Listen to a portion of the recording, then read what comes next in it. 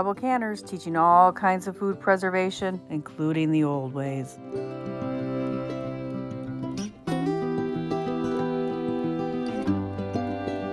If you like our content, please share it to your other social media. It would really help our channel grow.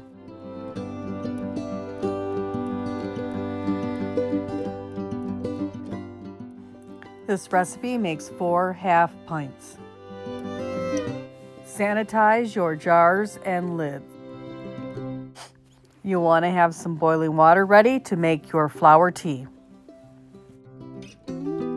You want to pick at least one quart of the flower heads.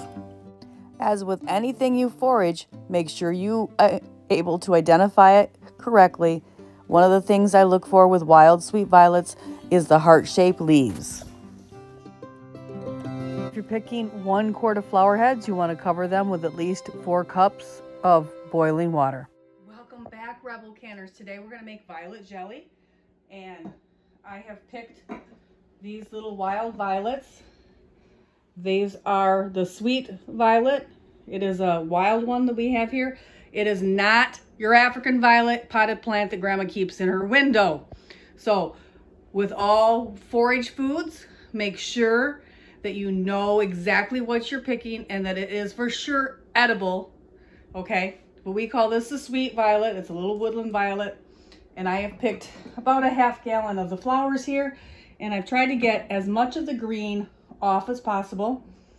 Um, it's not necessary to take it off. I just like it better without it. So I've got it in this gallon jar.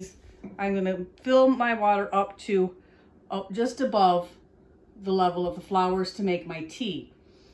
Uh, I don't want it too watered down because I want the flavor of the flowers. So just above the flowers with my boiling water, and then I'm gonna let it set up to 24 hours before I make my jelly from it and strain out all the flowers for my, with my tea. So first step in wildflower jelly is always to make your tea.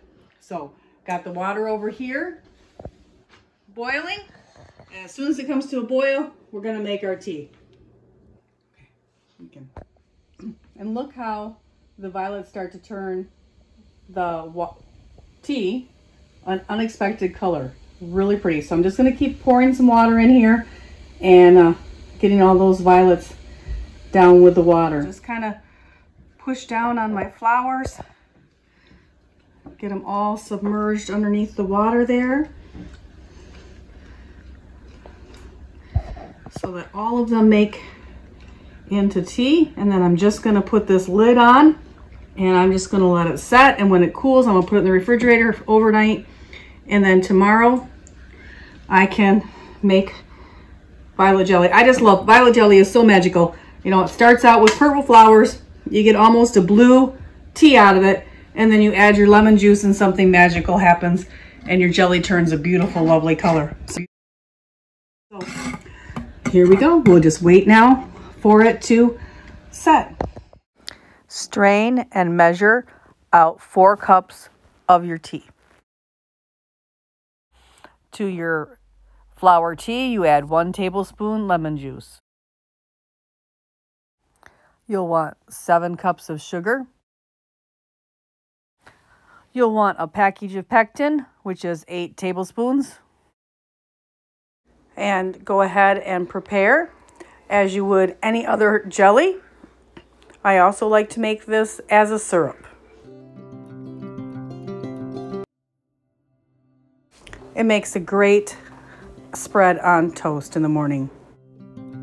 And as you can see, I don't know if that pink color really shows or not, that is violet syrup, perfect for we use it at our house for colds and coughs. Um, it is very mild, very tiny person friendly, I feel. You do your own research, but there you have it. That beautiful purple color turns into a very beautiful pink color. Not really sure if you can see it. I don't think this light does it well, but it is absolutely beautiful and that's what it turned. Like, subscribe, and ring that notification bell. And check out these other videos.